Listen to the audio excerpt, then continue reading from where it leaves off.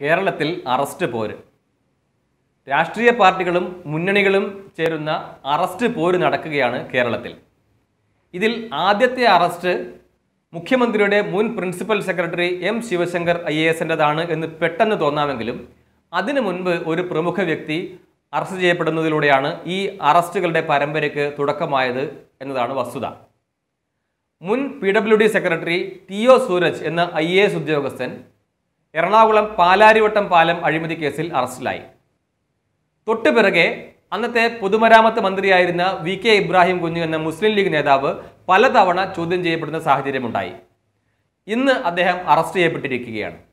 ഈ കാലത്തിനിടെ നടന്ന അറസ്റ്റുകൾ രാഷ്ട്രീയ രംഗത്തെയും അതുപോലെ തന്നെ ഉദ്യോഗസ്ഥ സംവിധാനത്തിലെയും ഉന്നതരായ വ്യക്തികളുടെ അറസ്റ്റ് പരിശോധിച്ചാൽ ഇപ്പോഴത്തെ കേരളത്തിലെ രാഷ്ട്രീയ സാഹചര്യവും അതുപോലെ തന്നെ ഇനി ഇനി വരാനിരിക്കുന്ന അറസ്റ്റുകളും അതുപോലെ തന്നെ കേരളത്തിൽ സംഭവിക്കാൻ പോകുന്ന രാഷ്ട്രീയ മാറ്റങ്ങളും ഏതാണ്ട് പ്രവചിക്കാൻ സാധിക്കും. പാലാരിവട്ടം പാലം ഗതാഗത യോഗ്യമല്ല എന്ന് കണ്ടെത്തപ്പെട്ടതോടെ നിർമ്മാണത്തിൽ വലിയ തോതിലുള്ള പാളിച്ചകൾ ഉണ്ടായിട്ടുണ്ട്. സിമന്റ് കമ്പി പോലുള്ള ഘടകങ്ങൾ വേണ്ട രീതിയിൽ ഉപയോഗിച്ചിട്ടില്ല എന്ന് കണ്ടെത്തിയതോടെ കേരളം അക്ഷരാർത്ഥത്തിൽ ഞെട്ടി. തുടർന്നാണ് പെട്ടെന്നുള്ള അന്വേഷണത്തിൽ ടി ഒ സൂരജ് എന്ന ഐ എ എസ് ഉദ്യോഗസ്ഥൻ പിടിയിലായത്. അദ്ദേഹം ജയിലിൽ കഴിയവെയാണ് വി കെ ഇബ്രാഹിം കുഞ്ഞ് പലതവണ ചോദ്യം ചെയ്യപ്പെടുന്ന സാഹചര്യം ഉണ്ടായത്. ഈ കേസിലെ നടപടിക്രമങ്ങൾ താരതമ്യേന പതുക്കെ മുന്നോട്ട് പോകുന്ന ഘട്ടത്തിൽ തിരുവനന്തപുരത്ത് സ്വർണക്കടത്ത് കേസ് ഉടലെടുക്കുകയും തുടർന്ന് പരമ്പരയായുള്ള കേസുകൾ ഉണ്ടാവുകയും ചെയ്തു. ഈ ഘട്ടത്തിൽ തങ്ങളാരും ഇത്തരം കേസുകളിൽ പങ്കാളികളല്ല തങ്ങളെ ആരെയും ചോദ്യം ചെയ്യാൻ പോകുന്നില്ല എന്ന് ഇടതുപക്ഷം വീമ്പിളക്കിയെങ്കിലും അധികം വൈകാതെ മുഖ്യമന്ത്രിയുടെ പ്രിൻസിപ്പൽ സെക്രട്ടറി ആയിരുന്ന ഐ എ എസ് ഉദ്യോഗസ്ഥനായ എം ശിവശങ്കർ ചോദ്യം ചെയ്യപ്പെടുന്ന സാഹചര്യം ഉണ്ടായി. അധികം വൈകാതെ സി പി ഐ എം മുൻ സംസ്ഥാന സെക്രട്ടറി കോടിയേരി ബാലകൃഷ്ണന്റെ മകൻ ബിനീഷ് കോടിയേരി ചോദ്യം ചെയ്യപ്പെടുന്ന സാഹചര്യവും ഉണ്ടായി മന്ത്രി കെ ടി ജലീലിന്റെതായിരുന്നു അടുത്ത ഊഴം. സ്വർണക്കടത്ത് കേസിന്റെ ആദ്യഘട്ടത്തിൽ തന്നെ സംശയത്തിന്റെ നിഴലിലുണ്ടായിരുന്ന ഒരു പ്രമുഖ വ്യക്തിയാണ് ജലീൽ.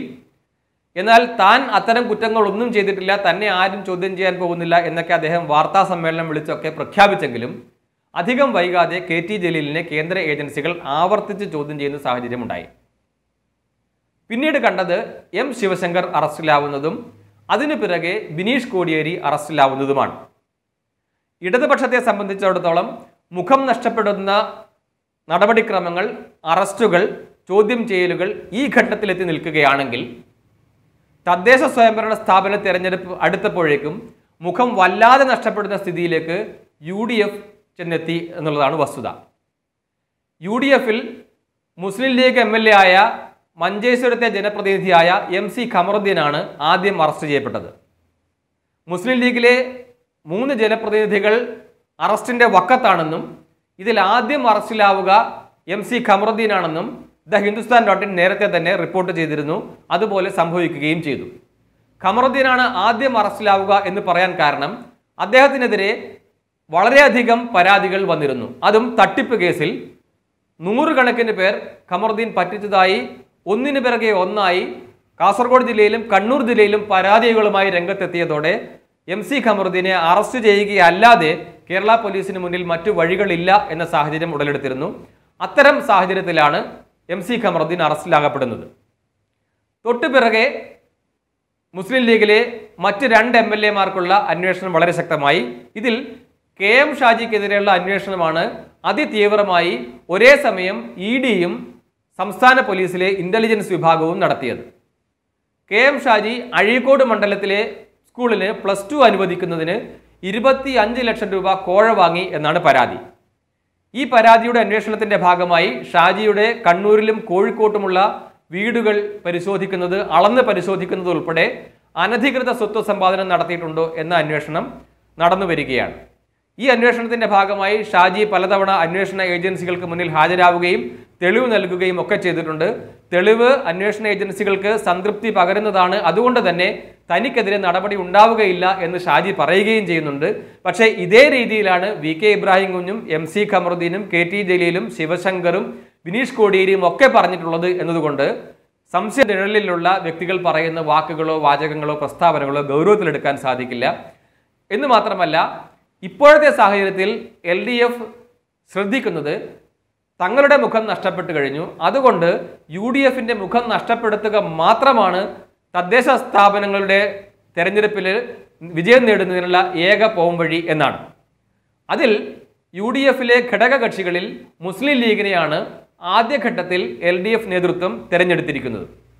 മുസ്ലിം ലീഗിലെ രണ്ട് ജനപ്രതിനിധികളെ അറസ്റ്റ് ചെയ്തു കഴിഞ്ഞു. മൂന്നാമത്തെ ജനപ്രതിനിധിയെ ലക്ഷ്യമിട്ട് അന്വേഷണ ഏജൻസികൾ കറങ്ങി നടക്കുകയാണ്. യു ഡി എഫിൽ വളരെ സജീവമായി നിൽക്കുന്ന പാർട്ടി മുസ്ലിം ലീഗാണ് എന്ന് തിരിച്ചറിഞ്ഞതും അതുപോലെ തന്നെ ജനപ്രതിനിധികളെയാണ് അറസ്റ്റ് ചെയ്യാൻ സാധിക്കുന്നത് എന്നതുകൊണ്ടുമായിരിക്കണം എൽ ഡി എഫ് സർക്കാർ അതിന് മുൻഗണന നൽകിയത്.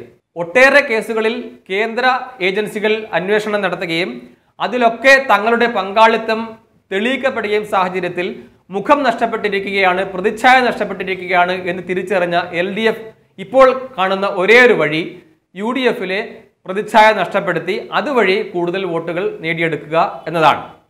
എന്നാൽ യു ഡി എഫ് ഇക്കാര്യം തിരിച്ചറിയുകയും എൽ ഡി എഫ് ഉദ്ദേശിക്കുന്ന വിധത്തിൽ പ്രതികരിക്കേണ്ടതില്ല എന്ന തീരുമാനത്തിലേക്ക് എത്തുകയും ചെയ്തിട്ടുണ്ട് എന്ന് വേണം അനുമാനിക്കാൻ.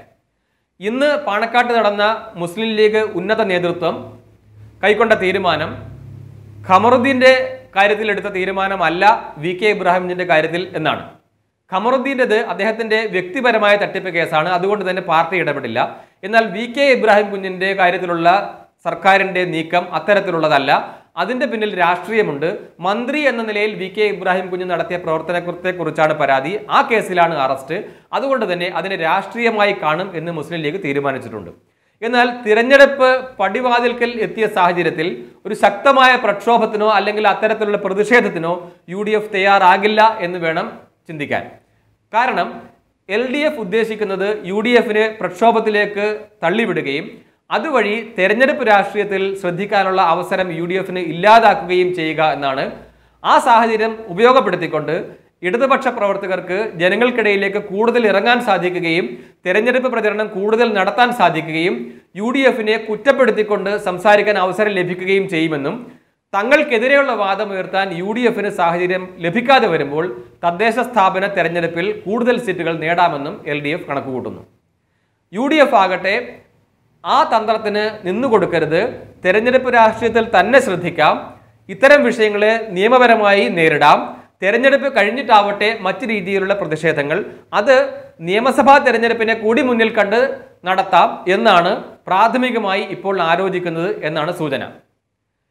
യു ഡി എഫും എൽ ഡി എഫും ഈ രീതിയിൽ തുടരുമ്പോൾ ഇപ്പോഴത്തെ കേരള രാഷ്ട്രീയ സാഹചര്യത്തിൽ എൻ ഡി എക്കുള്ള സാധ്യത വർദ്ധിച്ചു വരുന്നു എന്നുള്ളതാണ് മറ്റൊരു ഘടകം.